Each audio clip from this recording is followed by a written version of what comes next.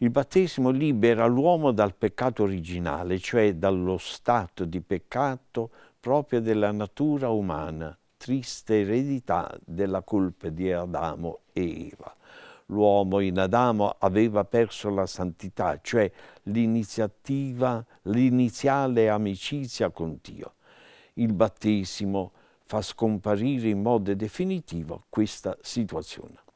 L'Apostolo Paolo nella lettera ai Romani scrive sappiamo bene che il nostro uomo vecchio è stato crocifisso con lui perché fosse distrutto il corpo dal peccato e noi non fossimo più schiavi del peccato. Infatti chi è morto è ormai libero dal peccato. La grazia del battesimo elimina l'uomo vecchio, tuttavia rimangono nel battesimo, nel battezzato, alcune conseguenze temporali del peccato, quali la sofferenza, la malattia, la morte, la debolezza del carattere.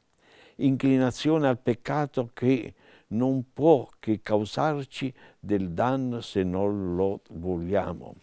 E sento questa lanciata per la prova non può nuocere a quelli che non vi acconsentono. La dignità dei figli di Dio.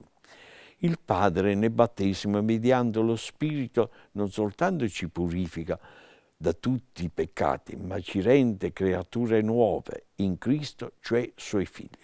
Lo Spirito ridona all'uomo la sua prima immagine, per cui diventiamo partecipi della natura divina, membri di Cristo, coeredi di Lui, Tempio dello Spirito Santo. Di conseguenza, quando ci rivolgiamo al Padre con la preghiera del Padre nostro, lo stesso Gesù prega in noi. Per indicare la grandezza di tale situazione in cui si viene a trovare il cristiano con il battesimo, San Paolo usa il termine rivestiti di Cristo. Disse, tutti voi siete figli di Dio per la fede in Gesù Cristo, poiché quando siete stati battezzati in Cristo, Gesù vi, vi siete, di, in Cristo Gesù vi siete rivestiti di Cristo. L'abito manifesta l'identità della persona, il suo ruolo nella società e nella comunità. La veste bianca che si consegna durante la liturgia del battesimo indica proprio questa nuova dignità. La candela accesa al cero pasquale significa che Cristo ha illuminato il neofita. In Cristo i battezzati sono luce del mondo.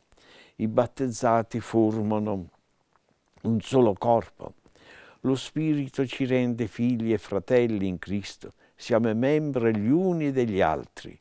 Il sentirci chiamati fratelli e sorelle, in modo particolare durante la liturgia eucaristica, non incide molto su di noi perché siamo assuefatti e non cogliamo il significato.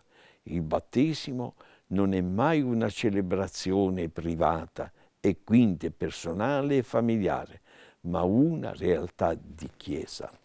Il battesimo, come la cresima e l'ordinazione sacerdotale, imprime il carattere, cioè un marchio spirituale indelebile, permanente.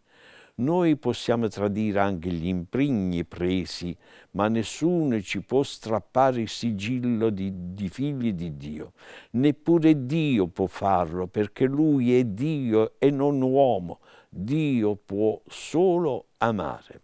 Neppure il peccato può cancellare questo sigillo indelebile, sebbene il peccato impedisce al, batte, al battesimo di portare i frutti di salvezza.